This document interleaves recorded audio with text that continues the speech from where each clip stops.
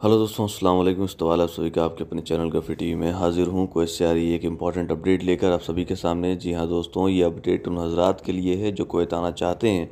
और मैं आपको बताऊँ कि इस अपडेट के ज़रिए एक बहुत ही बेहतरीन बात जो सामने आ रही है वो ये है कि इससे ये अंदाज़ा लगता है कि कोयत में फ़्लाइट शुरू करने के लिए कुछ तरीके के इंतज़ाम किए जा रहे हैं। और फ़्लाइट शुरू करने से पहले जो ज़रूरी काम हैं वो निपटाए जा रहे हैं। अगर आप इस अपडेट से अंदाज़ा लगा पाएँ तो फ़िलहाल अंदाज़ा ही लगा सकते हैं। तो चलिए चलते हैं अपडेट की तरफ़ और उम्मीद जताते हैं कि जल्द इसका काम हो।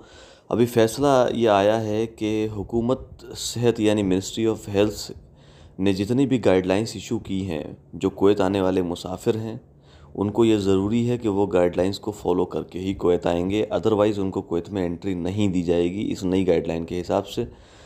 तफसीत के मुताबिक गवर्नमेंट कम्युनिकेशन सेंटर के सरबराह हुकूमत के सरकारी तर्जुमान तारिक अलमुजर्रम ने तस्दीक की कि कोत आने वाले तमाम मुसाफिर सेहत के जितनी भी ज़रूरी गाइडलाइंस हैं, यानी हेल्थ इंस्ट्रक्शंस हैं, उनको पूरे तरीके से फॉलो करेंगे और जितनी भी शरात हैं, कंडीशंस हैं, टर्म्स हैं कोई सरकार की, उसको वो फॉलो करके ही कोत में दाखिल हो पाएँगे। हुकूमत के इस फैसले पर अमल करना ज़रूरी है और जो अमल नहीं करेंगे, उनको बर्दाश्त सरकार नहीं करेगी और ना ही ऐसा करेगी कि उनको सेहत के जो इंस्ट्रक्शंस थे फॉलो करने के लिए बोले गए उन्होंने नहीं किए और उनको कोयत के अंदर दाखिल करने देगी। ऐसा बिल्कुल नहीं होगा, यानी उनको कोत में दाखिल, दाखिले की बिल्कुल भी इजाज़त नहीं मिलेगी।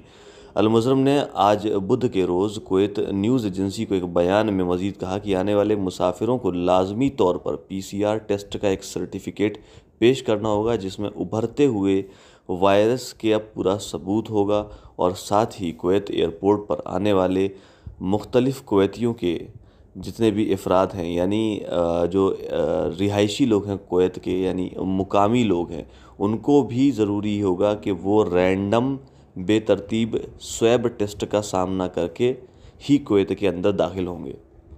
यानी अगर कोई कोती है और वो कुवैत में आ रहा है तो उसको भी स्वैब टेस्ट से गुज़रना होगा कुवैत में एंट्री करने से पहले। तो दोस्तों, इसमें ये बताया जा रहा है कि कुवैत एयरपोर्ट खोलने की पूरे तरीके से तैयारी की जा रही है। तैयारी से पहले जो भी इंतज़ाम हैं, उनको निपटाया जा रहा है। अगर आप इस अपडेट से अंदाज़ा लगा पाएँ और उम्मीद जताते हैं कि जल्द से जल्द कुवैत के एयरपोर्ट पर नॉर्मल फ़्लाइट्स का शुरू किया जाए और स्पेशली उन कंट्रीज़ से शुरू किया जाए जिन कंट्रीज़ के ऊपर बैन फ़िलहाल लगा हुआ है, यानी चौंतीस बैंड कंट्रीज़ जो हैं, जिनमें हिंदुस्तान भी शामिल है। तो हम उम्मीद जताते हैं कि जल्द से जल्द उसके ऊपर बैन हटे। तो दोस्तों, ये थी अपडेट। अगर आपकी अपडेट पसंद आई तो वीडियो को लाइक करना भूलिएगा। चैनल को सब्सक्राइब कर दीजिएगा बेलाइकन दबा दीजिएगा, ताकि इस तरह की अपडेट लगातार हम आपके पास लेकर आते रहें।